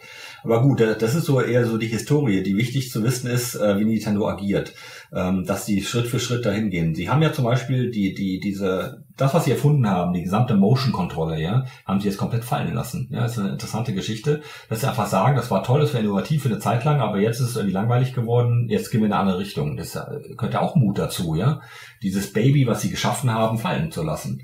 Ähm, und dann gucken wir mal, äh, was sie da jetzt noch bringen ähm, an, an Spielen die diese Switch-Geschichte besser unterstützen, dass man unterwegs sein kann, ähm, dass die Dinger untereinander eventuell hoffentlich automatisch kommunizieren. Das wär's ja mal, ja, dass wenn du mit einer Switch irgendwo spielst, die Switch weiß, welche andere in der Nähe sind und automatisch da irgendwelche tollen äh, neuen Modi bauen kann. Das wäre ja mal was, ohne dass du ab extra ins Netz gehen musst, extra den als Freund addest und dann erst einen Spielmodi aufziehst, ihn einlässt, er sagt, ja, ich will mit dir spielen und dann kannst du mit dem zocken, ist doch langweilig. Ja, ähm, ich erinnere mich immer wieder, als ich Dark Souls gespielt habe und einfach so irgendjemand in mein Dungeon reinlaufen kann. Das sind so die Sachen, glaube ich, die mit der Switch möglich wären, wenn Nintendo das öffnet. Die haben ja da in der Richtung auch mit äh, schon mit dem DS Sachen gemacht, ne? Diese Spotpass-Geschichte und so, wo dann halt Leute irgendwo keine Ahnung, äh, oder beim 3DS, da besuchen dich doch Leute dann in der, dieser Mii-Welt, wenn du an denen vorbeigekommen bist. Genau. Dann ist der Mi da drin, aber das ist alles so halbherzig, weißt du? Das ist, da, da musst du das Spiel, da, da musst du die, dieses Mi-Vers aufmachen, damit du siehst, damit es der Typ ist. Und äh, das sollte irgendwie so sein, dass es standardmäßig einfach passiert. Und äh, das wäre schon die Schau. Aber da man mal gucken, wie, wie mutig Nintendo diesmal ist, weil die immer ein bisschen klaustrophobisch waren, was diese, diese, diese Connectivity angeht, weil sie Angst haben, dass wahrscheinlich irgendwelche Pädophilen äh, äh, die, die Kinderadressen rauskriegen. Ich weiß es nicht. Ja, die sind, also du hast ja vorhin schon dieses komplizierte Freundschaftssystem auf den Nintendo-Konsolen erwähnt. Das haben sie jetzt auf der Wii U dann irgendwann jetzt vor ein paar Monaten oder sowas, oder vielleicht ist es auch schon über ein Jahr her, äh, haben sie es ja ein bisschen entschärft, dass es, glaube ich, nicht mehr ganz so kompliziert ist. Ist ja, ist ja nie vorbeigegangen, weil ich, ich spiele eine ganze Weile meine Wii U nicht. Die hat meine Tochter in Beschlag genommen, weil die jetzt irgendwie Top 100 Splatoon-Spieler ist. ja, siehst du, der, der, der ist ja im Switch-Trailer schon mit diesem E-Sport-Team oder sowas, da wird sie direkt angesprochen. Ja, genau. Die ist schon ganz hibbelig, ja. Die ist nach Japan gezogen und äh, wollte sich eigentlich eine Wii U kaufen wegen Splatoon und jetzt ist sie äh, ganz wild drauf, sich im März die Switch zu kaufen. ja. Ist es übrigens, wir haben ja schon drüber gesprochen, also die, äh, die ganze Diskussion darüber, dass jetzt Nintendo, wenn die Switch nicht funktioniert, dass die am Ende pleite gehen oder sonst irgendwas und dass sie sich jetzt nach der Wii U nicht noch einen Fehlschlag leisten können, dass das ziemlicher Quatsch ist? Das ist Quatsch. Nintendo kann ja gar nicht pleite gehen. Ähm, zum einen, äh, die Dinger werden, wie gesagt, mit Gewinn verkauft, wette ich mit dir. Die Produktionskosten werden weit unter 100 Dollar liegen von dem Teil. Da ist ja keine, keine SSD drin, da ist keine Festplatte drin, da ist kein CD-Laufwerk oder Blu-ray-Laufwerk drin, gar nichts. Ja, Das ist einfach nur Speicher und CPU und Bildschirm. Das ist die billigsten Komponenten, die du hinkriegen kannst. Ähm, und das Ding hat wie viel? 32 Gigabyte, glaube ich, ne? An ich glaube, die Größe des internen Speichers von der Switch ist noch nicht bekannt. Äh, doch, doch. Ja? Ging rum. 4 Gigabyte interner Speicher plus 32 Gigabyte äh, als Storage. Ähm, und dann kannst du das wahrscheinlich noch erweitern mit so einem Slot. Ähm, das ist nicht teuer, ja. Und äh, deswegen pleite gehen können sie in den Dingen nicht, weil die all, alle Dinge schon mit Profit verkauft werden. Ich sag dir eins, wenn sie im März das Ding rausbringen mit Zelda oder als Zelda Edition, völlig egal, ja, da verkaufen sie ihre 5 Millionen Stück. Sofort. Ähm, und, und wenn sie raffiniert sind, bringen sie das vielleicht, äh, das Zelda auf der Switch eher raus als auf der Wii U. Aber gut, das, äh, lassen wir mal sein. Ähm, da glaube ich nicht, dass Nintendo da ein Problem haben wird. Ähm, und, und Nintendo denkt immer im Vorhinein, das heißt, die arbeiten jetzt schon lange dran an anderen Spielereien, die sie da bringen werden. Ich weiß nicht, ob du dich mal informiert hast, wie äh, dieses Ideenzentrum von Nintendo funktioniert. Ähm, die haben drei komplett unabhängige Forschungszentren und äh, die können, ich sage es mal, äh, wild fantasieren, was sie da bauen. Und dann wird äh, alle in einem regelmäßigen Zeitabstand kommen alle drei vor den Vorstand, von den kreativen, für das kreative Wort und stellen ihre drei Spielzeuge vor. Und die sind sozusagen in Konkurrenz. Und egal wie gut alle drei sind, es wird nur eins genommen, die andere gecancelt. Und das eine, was genommen wird, wird weiterentwickelt und eventuell nochmal gecancelt, wer weiß, aber es ist das, wo dann sozusagen der nächste Schritt erlaubt wird. Die anderen zwei Back to the Drawing Board können irgendwas anderes machen. Ähm, deswegen kommt Nintendo ab und an mit so verrückten Sachen an, wo sie sagen, es ist voll cool und äh, jetzt lass uns das mal tun. Ja? Wir erinnern uns an den Little Boy. Ähm, das kommt genau aus so einer Forschungsstätte. Und ähm, da glaube ich schon, dass sie jetzt schon längst an Dingen arbeiten, die, die vielleicht in fünf Jahren erst kommen. Ich sag ja nicht VR, nein. Ich habe jetzt, äh, äh, vielleicht kommt dieses, dieses, äh, dieses Mini-NES-Ding daher. Weißt du, was ich meine? Das, das, also das Mini-NES ist ja, das kommt ja sowieso, ne, dieses Mini-Teil. Und ja, genau. Äh, da machen sie noch Mini-SNES draus, aber das ist ja eher Backkatalogverwaltung, ja, dass man einfach sagt, ich bringe hier Super Nintendo raus in Mini-Format mit HDMI in HD, richtig schön und pack da 30 Spiele rein. Ähm, das ist so eine Wiederverwertung der alten IPs. Ähm, dass sie sowas machen, das ist Nebengeschäft. Ähm, ich denke es eher so an die, an die zukünftigen Sachen, die jenseits der Switch sind. Mhm. Ich meine, sowas wie das Mini-NES äh, gab es ja auch schon. Es gab ja diesen C64-Joystick, der dann quasi auch als äh, Konsole fungiert hat, wo du dann ein paar C64-Klassiker vorinstalliert hattest. Offiziell von Nintendo ist natürlich schon eine andere Sache. Ne? Klar. Da, ist Qualitätsstempel drauf. Man darf ja nicht vergessen, dass die Hardware, die Nintendo baut, ja immer äh, eine super Qualität hat. Von der, vom, vom Kunststoff her, vom Handling her, wie die Dinge aufgebaut sind, wie unkaputtbar die sind, ja ähm, das äh, hat immer eine, eine ganz, ist immer eine ganz andere Liga als irgendwelche China-Plagiate. Ich habe ja äh, hier im Vorfeld von unserer Aufzeichnung habe ich ja ein paar Leute noch gefragt, unter anderem auch Leute, die wir kennen aus dem Handel. Und dieses Mini-NES hat jetzt quasi schon Lieferschwierigkeiten. das denke ich mir. Ja, das ist, ich sag ja, die, diese Generation, die mit dem NES groß geworden ist, die kauft sich das alle. Ähm, und ich weiß, dass meine Freundin schon die ganze Zeit nachfragt, wann das Ding kommt, weil sie es mir zu Weihnachten schenken will. Ähm, das ist ganz groß, ja. Ähm, aber wie gesagt, ich bin dann eher derjenige, der sagt, das Ding als Super Nintendo wäre mir lieber gewesen. Weil auf Super Nintendo kamen die ersten richtig großen Geschichten. Das Zelda auf dem Super Nintendo gehört zu einem der besten Spiele der Welt. Ähm, das Super Mario World auf, äh, auf äh, SNES hat die gesamte Jump-Run-Geschichte ähm, revolutioniert und hat heute noch einen Einfluss auf Mobile Games, ja, weil das Metaspiel, was in dem Super Mario drin ist, ist heute kopiert in so vielen Spielen, ist einfach unfassbar, ja. Das, die kann man heute noch hernehmen, beide Spiele als Forschungsobjekt für Game Designer. Da sage ich aber immer, Super Mario Bros. 3 hat rein spielmechanisch schon das allermeiste etabliert, was dann äh, in Super Mario World natürlich nochmal ordentlich weiterentwickelt wurde. Ich finde das immer noch so rein Jump'n'Run historisch ist das äh, Dreier Super Mario das Wichtigere. Ja, Super Mario äh, World hatte aber dieses Metaspiel oben drauf. Das darf nicht unterschätzen. Diese Welt war wichtig. Das ist klar, aber die, die Oberwelt per se mit so ein bisschen an der Anlage von diesen Minigames mit den Pilzhäusern und so war ja auch schon in Super Mario Bros. 3 drin. Es ist aber, ja nur noch mal erweitert. Ja, aber sie muss, irgendwann war es halt einmal, hast recht, Super Mario 3, da war alles drin, mehr geht nicht, ja. Da war sozusagen Jump'n'Run technisch, war man an der, an der Hürde angelangt, wo man sagt, mehr Innovation, alles andere wäre Unsinn. Und dann muss man halt ein Metaspiel oben draufsetzen. Und dann ging man in 3D, äh, äh, ja, und jetzt geht man halt in die verrückten Geschichten. Ja, und bei dem Zelda gebe ich dir völlig recht. Also äh, äh das äh, Link to the Past, das habe ich hier im Podcast auch schon mal, glaube ich, in den Folgen zu den besten Spielen aller Zeiten erzählt war ja jahrzehntelang immer ein Showcase für De Game Design. Also wie viele Game Design Workshops oder sowas ich irgendwo auf irgendeiner GDC gesehen habe, wo das immer und immer wieder referenziert wurde. Ich nutze das heute noch. Also wenn ich äh, heute Game Design Kurse gebe, äh, benutze ich dann, äh, dann äh, schmeiße ich den Leuten einen Emulator auf ihren PC mit Super Nintendo, äh, Zelda und sage, ihr spielt das jetzt, ich bin in drei Stunden wieder da. Ähm, und da muss ich ihnen ein paar Sachen erklären, was, was dieses Spiel so wunderbar gemacht hat. Und da hat Miyamoto äh, ganz gewisse Spielregeln eingebaut, die, die so viel Sinn machen, dass sie heute noch komplett alle ähm, äh, gelten. Ja? Also wahnsinnig viele Spiele haben Elemente drin, die immer noch auf diesem Spiel basieren. Und äh, heutzutage guckt man das Spiel und sagt, ja, kenne ich doch alles. Ja, aber damals, wie gesagt, war das alles neu, viel neu drin.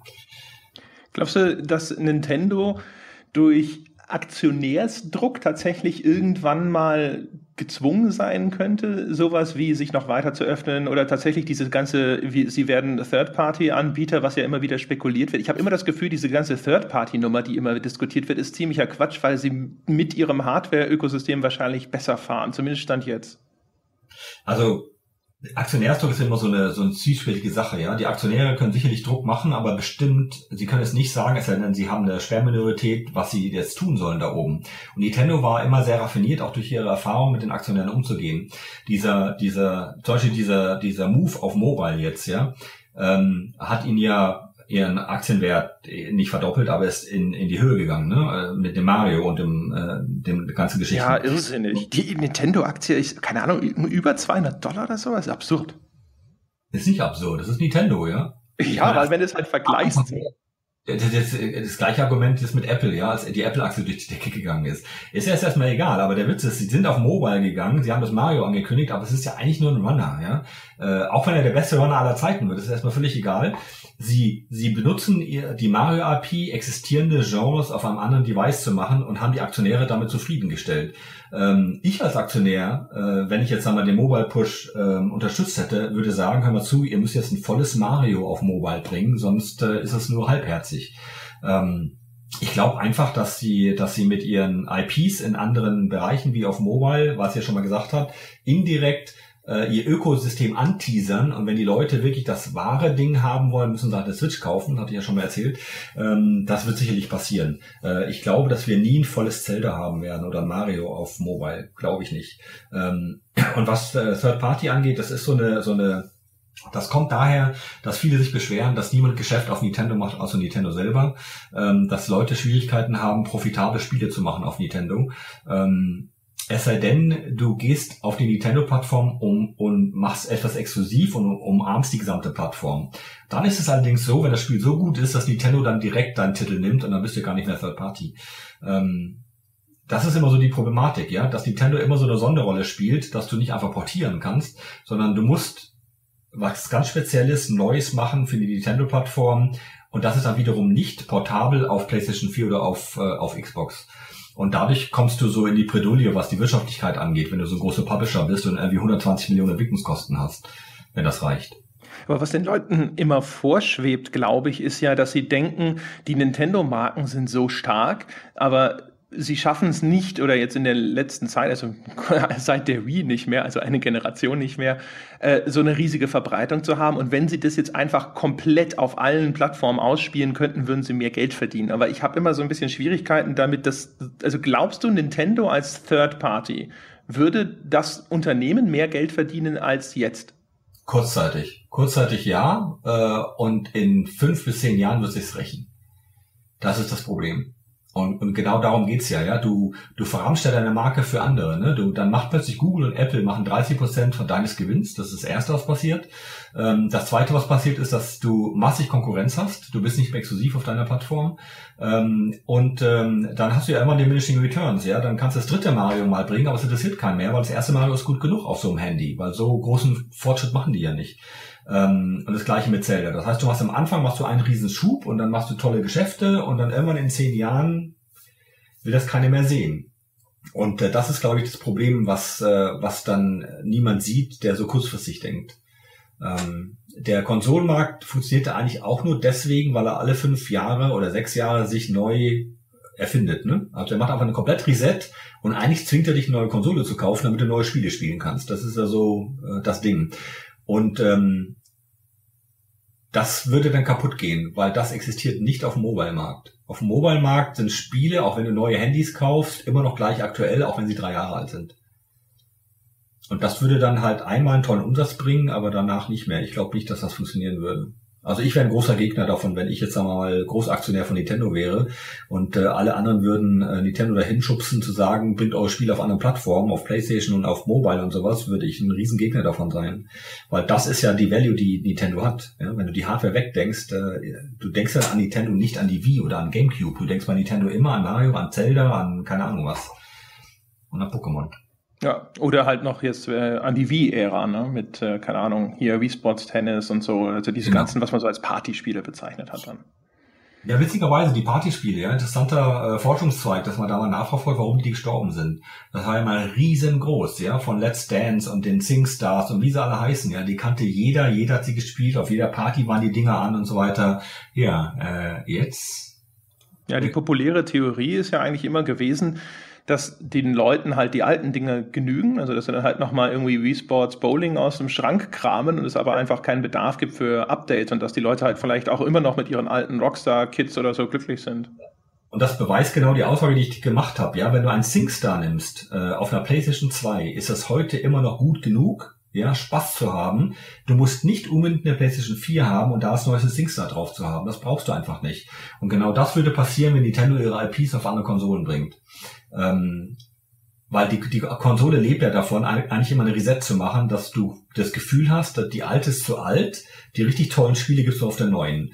Und äh, das passiert dann halt in dem Fall. Und das ist, glaube ich, äh, Guitar Hero, SingStar und äh, den ganzen Bowlings und Tennis und sowas äh, passiert. Die waren gut genug auf der alten.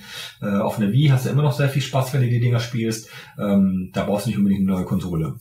Ist das dann auch eine Gefahr für das, was jetzt hier da mit PS4 Pro und der Scorpio passiert? Weil im Grunde genommen, das ist ja so ein Ding, wo man auch denken könnte, so, naja, aber die alte PS4 ist ja auch noch gut genug und die wird auch supported.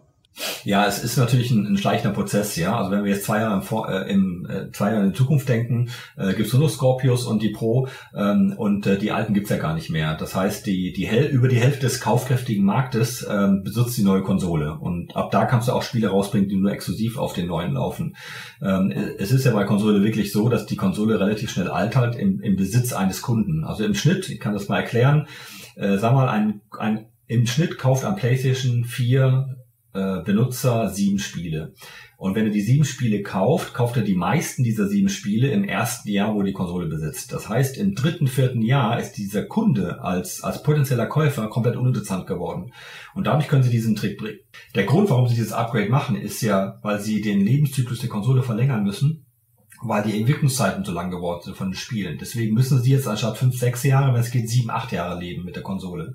Und ganz wichtig, dass jetzt hardwarehungrige Geschichten kommen, die eine schnellere Konsole ähm, brauchen, wie VR oder noch andere Sachen, die sie da, wo sie daran basteln.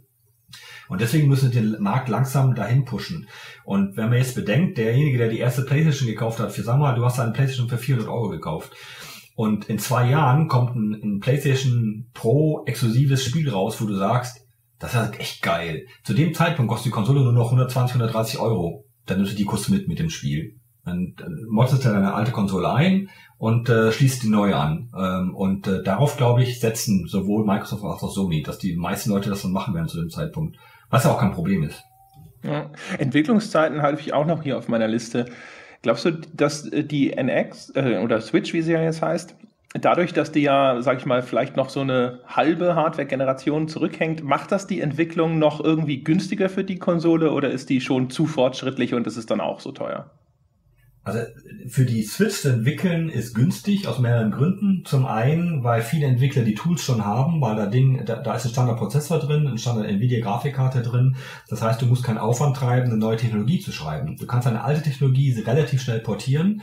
Ähm, Mobile-Entwickler haben einen riesen Vorteil, weil sie dieses, dieses, dieses, was Mobile heißt, äh, schon relativ intus, schnell intus haben.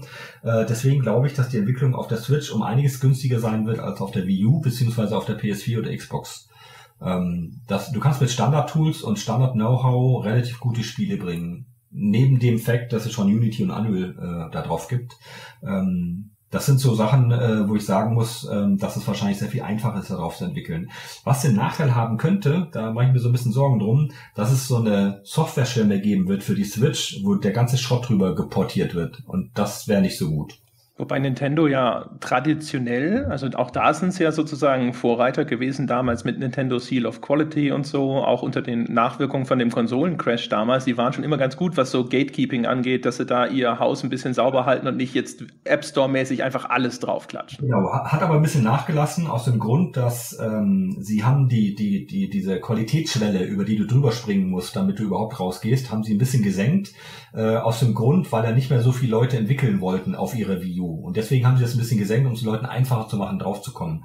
Ähm, aber wenn das passieren wird, ist Nintendo der Erste, der da äh, relativ rigoros dann sauber macht. Ja, da sind sie bekannt dafür. Und es ist ja auch wieder abhängig. Also wenn jetzt sich die Switch besser im Markt platzieren kann, dann werden sie wahrscheinlich auch sehr schnell dabei sein, da die Regeln wieder ein bisschen zu verschärfen. Genau.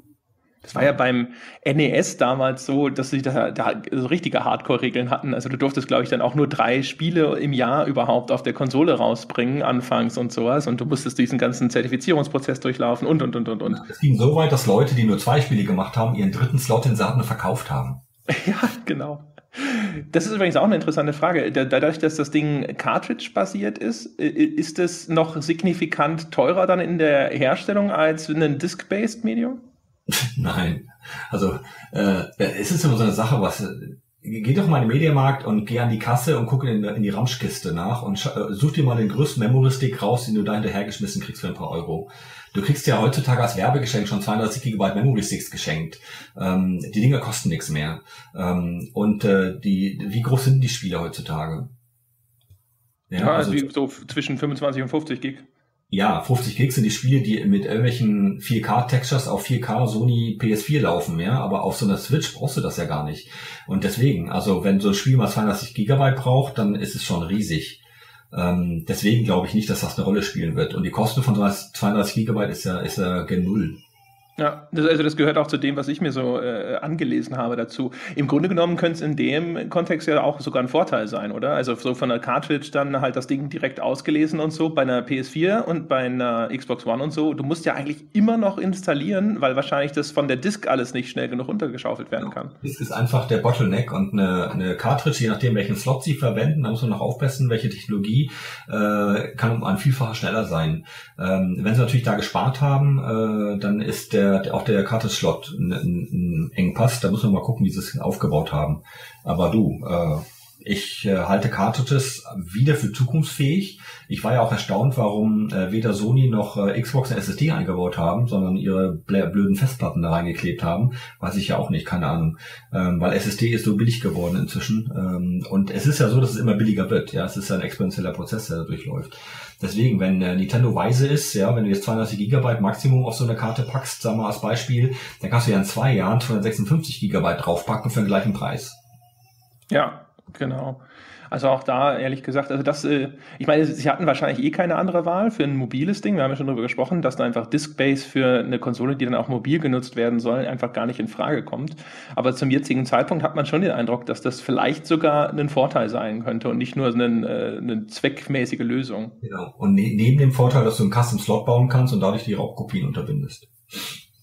Genau, und äh, du musst halt vielleicht nicht auch, keine Ahnung, also was müssten sie denn da auch für ein Laufwerk einbauen, das dann genügend Speicherplatz hat oder sonst irgendwas, wo sie dann am Ende vielleicht wieder Lizenzen zahlen müssen und sowas, was dann in der Fertigung und so. Also ich glaube, das ist, glaube ich, weil ich das ab und zu auch diskutiert gesehen habe in Foren von Spielern, die, bei denen, glaube ich, immer noch so ein bisschen anhängt, dass Cartridges so rückständig ist und dann so ein bisschen an die N64-Ära erinnert, wo die Cartridge dann gegenüber der CD einfach so ein bisschen hinterherhinkte. Ja, und da, da, da waren es, ähm, das waren aber rein die Kosten, ja, äh, in dem Fall. Die Produktionskosten von Cartridges damals waren halt extrem hoch, äh, weil die CD halt immens schnell im Preis gefallen ist, äh, weil du halt sowohl Video als auch Audio als auch Spiele drauf schippen konntest und die gesamten äh, CD-Presswerke da sich gegenseitig unterboten haben. Ähm, und das ist ja jetzt nicht mehr der Fall. Und äh, diese, diese Chips werden deswegen billiger, weil die gesamte Welt auf SSD geht. Ähm, die Notebooks, ja, die Handys, alle brauchen SSD-Chips und äh, die werden dementsprechend, SSD-Chips, also diese, diese RAM-Bausteine. Und dementsprechend äh, werden die sehr schnell billiger und mit immer mehr Kapazität. Und ähm, das äh, spielt Nintendo in die Hände.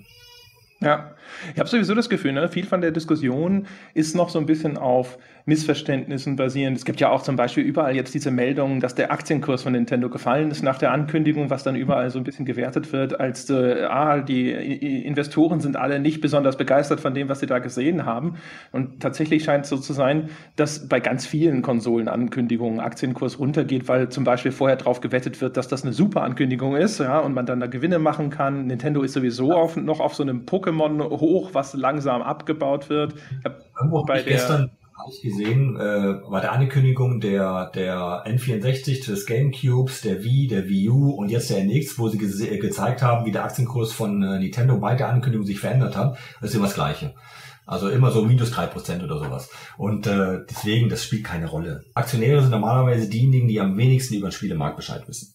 Ja, Ankündigung von der PS4, damals Sony-Kurs, glaube ich, minus ein Prozent oder sowas. ja, ich sag ja. Also auch da ist halt wieder. Auch interessant übrigens ist ja, ähm, dass ich habe gelesen, ungefähr 40 Prozent der Verkäufe von PS3 und Xbox 360 kamen erst relativ spät überhaupt im Lebenszyklus dieser Konsolen. Das heißt, es gibt eine ganz große Menge von Kunden, die relativ spät in dem Konsolenzyklus erst eintritt, ja, also wenn halt die Preissenkungen durch sind. Und das heißt, das sind aber auch offensichtlich dann vielleicht Leute, denen jetzt die allerneueste Technik gar nicht so wichtig ist. Und das ist der Markt, für den Nintendo entwickelt.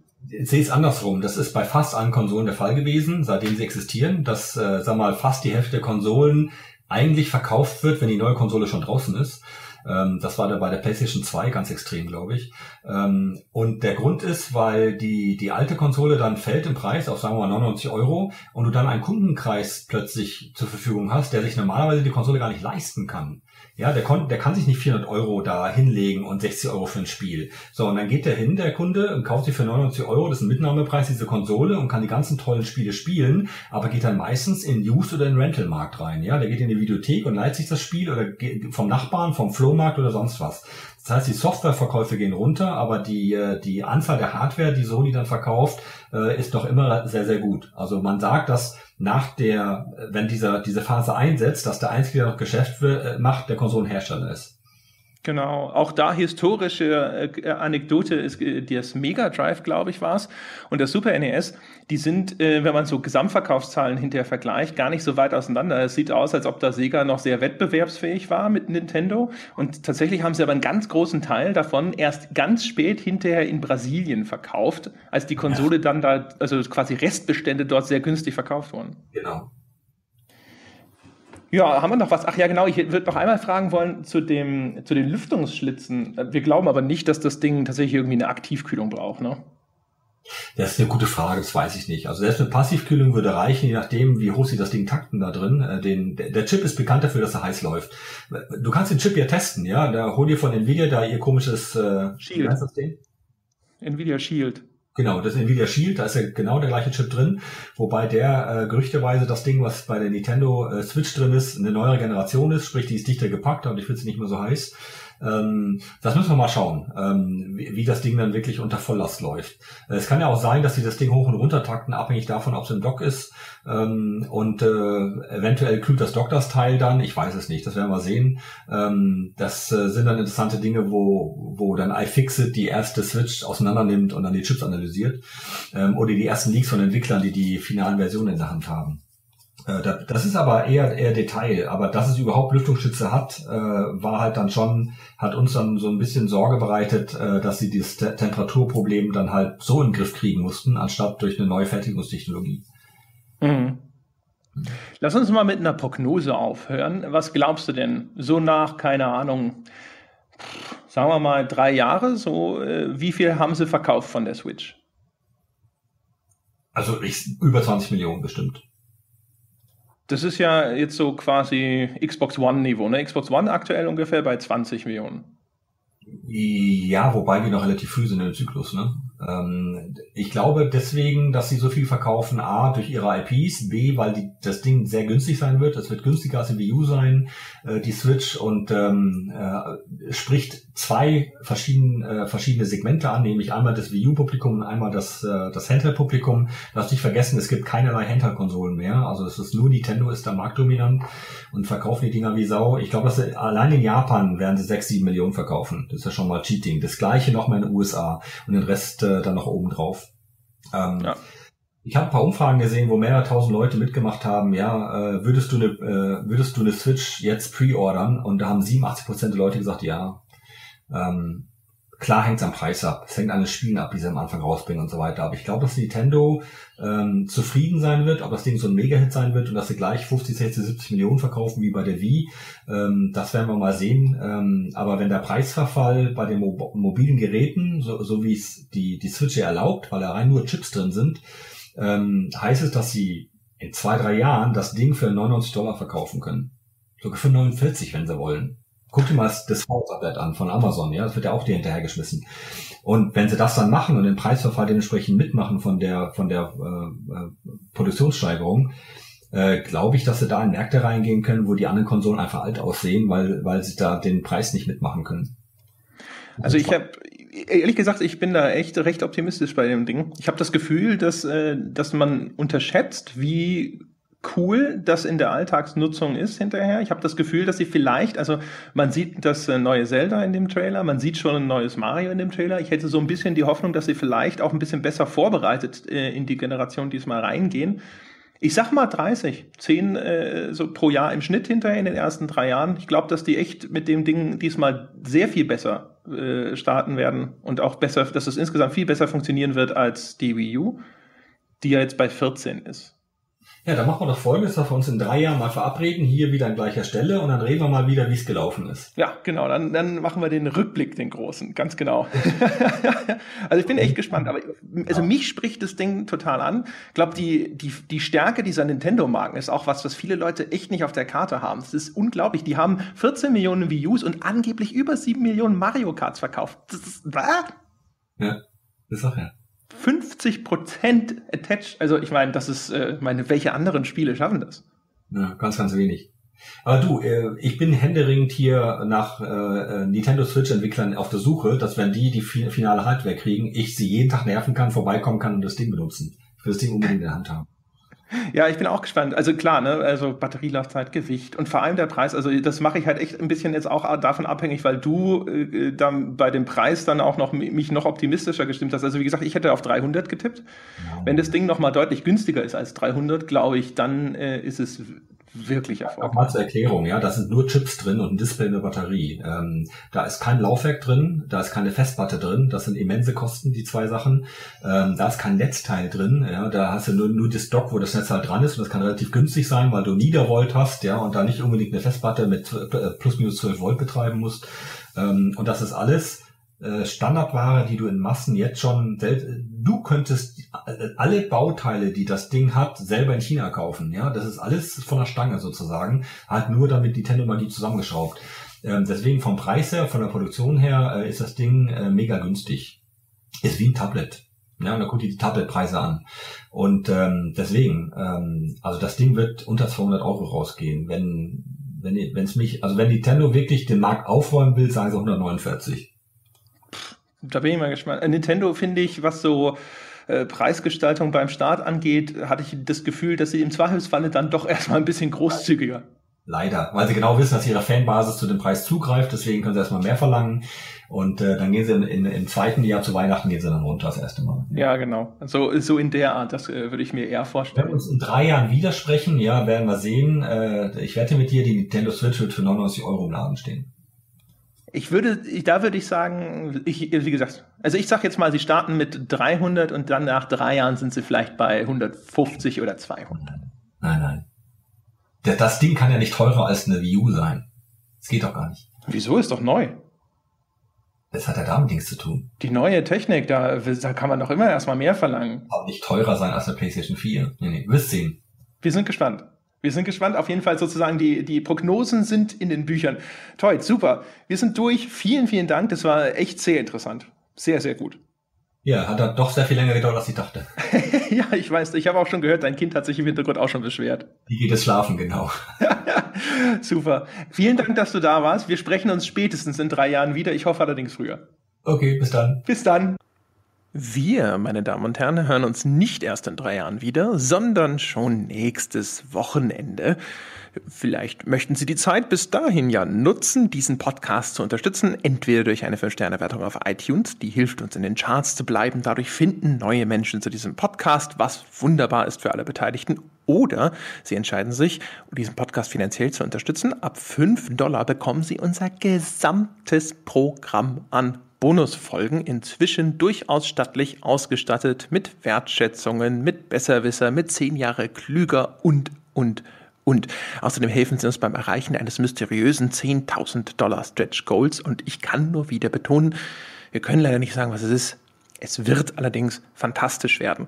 Ansonsten hätte ich immer noch den Verweis auf das Weltbeste Spieleforum unter forum.gamespodcast.de. Wer sich intellektuell wertvoll und respektvoll über Spiele austauschen möchte, ist dort genau richtig. Und auf Facebook sind wir zu finden unter facebook.com slash auf ein Bier. Das war's für diese Woche. Wir hören uns nächste Woche wieder, dann vielleicht auch mal wieder mit einem genesenen Jochen Gebauer. Toi, toi, toi. Und bis dahin.